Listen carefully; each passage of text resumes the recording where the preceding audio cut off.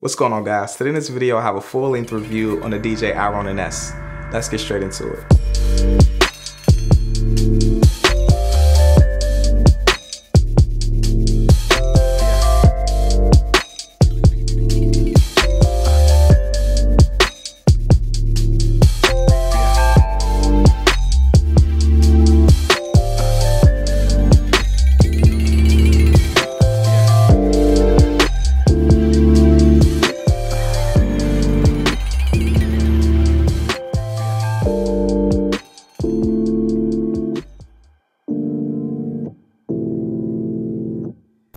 First and foremost, I have to let you guys know what I do because that in itself could completely alter your perspective on the DJI Ronin S after looking at this review. So me, I create content for YouTube. Now I will use the DJI Ronin S to add in smooth shots into my vlogs and just the types of videos that I'm creating for YouTube. But aside from that, I primarily create music videos. So I mean, take that for what it's worth. I don't do travel videos, I don't do weddings. That just is what it is. Take that for what it's worth. Now with that being said, I'm gonna break this review down into four different sections. The first one being the quality of footage that you guys are gonna get from the DJI Ronin S, the usability of using the DJI Ronin S, pros and cons. Third is gonna be who is this gimbal for? And the fourth one being, am I gonna be switching to the DJI Ronin S from my DJI Ronin M? Now about the gimbal, I'm gonna skip a lot of the technical stuff, the payload capacity and all of that other mumbo jumbo. There's tons of other videos online about that. I feel like if you're here, you're either considering purchasing a gimbal, you've already done that research, and you just wanna hear real world what it's like to use the gimbal from somebody who's actually used it.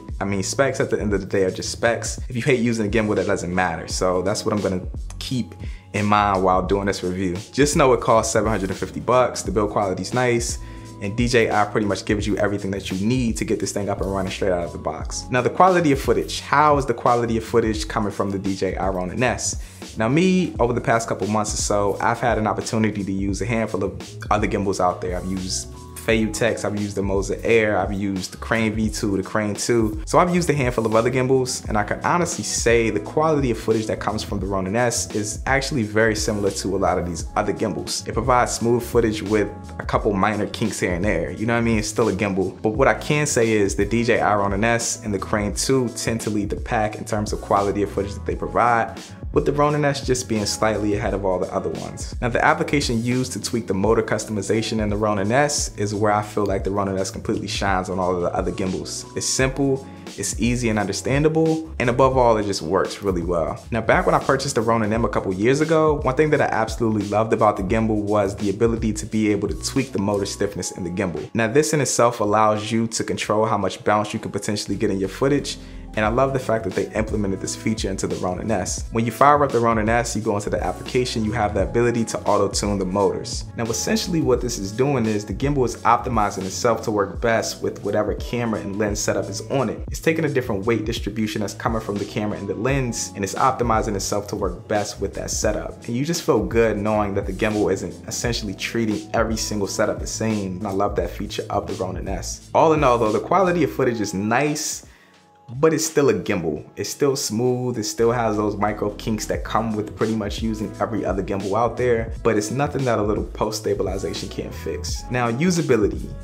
Using the Ronin S, you're gonna instantly notice that this thing is heavy and it's no secret the gimbal is just heavy. It's just a heavy gimbal. The application is nice, the build quality of the gimbal is nice, the footage is nice. It's just heavy. I mean, and it, that just is what it is. It's just a heavy gimbal. Now let's get into the pros of the gimbal. One being, I love the breakdown of the gimbal. It's probably the easiest and fastest of any of the other gimbals I've used. You literally just undo the latch slap the gimbal off of the battery and it's there in two different pieces. The breakdown is fast. Another thing that I absolutely love about the DJI Ronin S is the trigger system. Now when using these single-handed gimbals, it's easy to get these gimbals in funky positions that you don't necessarily want to be in and the trigger system on the Ronin S makes it easy for you to reset and get back into the action of filming. Now a couple different functionality features of the trigger system on the gimbal is if you double press it, it takes the gimbal right back to the center. It makes it easy for you to reset and get back into it. If you push the trigger three times, it puts it in the selfie mode. And if you hold down on the trigger, it completely freezes all of the motors. This is where you're gonna be using to transition into flashlight mode and also underslung mode. So the trigger system on the gimbal makes it super simple and easy.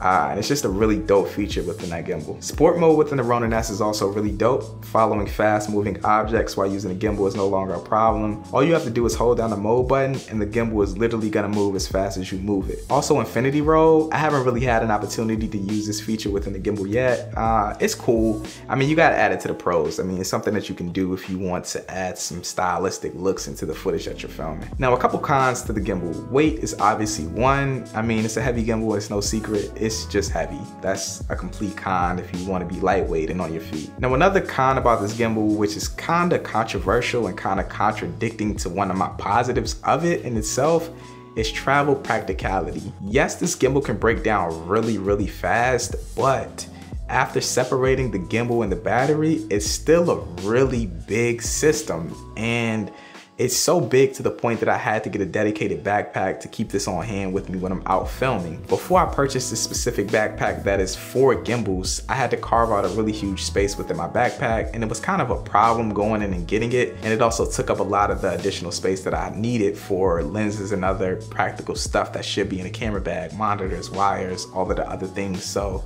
this breaks down really fast, but the travel practicality is kind of like, eh, it's still a really big gimbal. Uh, and it's kind of contradicting because it's made for smaller, lightweight projects, but it's still big. So take that for what it's worth you may have to get a dedicated backpack or a way to travel with this gimbal. Another con about this gimbal that I feel is kind of present within all single-handed gimbals is the underslung mode. I feel like underslung mode is never really as stable as the gimbal is in upright mode. I don't know if that strains the motors a little bit or what, but I feel like it's noticeably different in terms of the stability that is provided in the upright mode and the underslung mode. I will say that the Ronin S does underslung mode better than a lot of the other gimbals that I've mentioned in the the past uh, earlier in this review, but underslung mode is definitely not as stable as the upright mode at all. So who's this gimbal for? Honestly, personally, I feel like the Ronin S is for somebody who has a heavier setup and they want a gimbal that is gonna support the heavier setup. The people out there who have GH5s with Metabone speed boosters and 18 to 35 lenses or you have full frame Sonys with full frame lenses, 24 to 70s and 85s and all of those heavy lenses. The Ronin S is gonna be perfect for you guys. I also feel like the Ronin S is perfect for people who know for a fact that in the future they plan to have heavier setups and they want a gimbal and a system that's gonna be future proof. I feel like the weight load capacity of the gimbal makes it really future proof and the features in it are also really nice. I don't feel like they're gonna get old anytime soon. If you're looking for a gimbal that's future proof, this is the gimbal to go. If you have a heavier setup, this is the gimbal to go. Now for the people out there who have like APS-C sensor Sony's like a6500s using APS-C sensor lenses, I don't see why you would purchase this. If you know that that's where you're gonna be for a while and you don't plan on picking up heavier cameras and heavier lenses, just go get a Crane 2 or Crane V2 or a Crane Plus. Those gimbals are gonna be a lot lighter. They're gonna make your life a lot easier. If you have a lighter camera and you're gonna be there for a while, get a lighter gimbal. It just makes sense. Now, after using the Ronin S for as long as I've been using it and even using it on music video sets, am I planning on switching from the DJI Ronin M and completely using the DJI Ronin S? I can honestly say I have no, I have no intentions on doing that. I like the Ronin S. I think it's a really dope gimbal for what it is, but for me, I just love my Ronin M. Uh, I'm just one of those people who prefer the the lower the lower camera placement on the Ronin M. I love that. Um, I think the Ronin S and like single-handed gimbals, the upright mode on it make the camera really high, if that makes sense. I don't know, it's just kind of weird for music videos. So I don't know, I like my Ronin M. I like the mounting options on it. Um, it's just a better gimbal when I have time to set up and I have projects that I've planned for. Now when I'm out on the go and I'm doing traveling and I'm creating videos for YouTube, the Ronin S is perfect, uh, but it's definitely not gonna be the gimbal that I'm gonna be choosing to create my music videos with anytime soon. I think it's a really dope gimbal if you're looking for a gimbal that is gonna be future proof, you're looking for a gimbal that can support heavier payloads, this is definitely the one to go to, man. I love this gimbal for what it's worth and I'm gonna continue to use it for what I've been using it for. There it is, man. If you guys have any other questions about the the Ronin S, make sure you guys drop those down in the comments. I'll make sure to get back to those. Drop this video a like if you appreciated it, man. And if you're new here, consider subscribing. Peace out.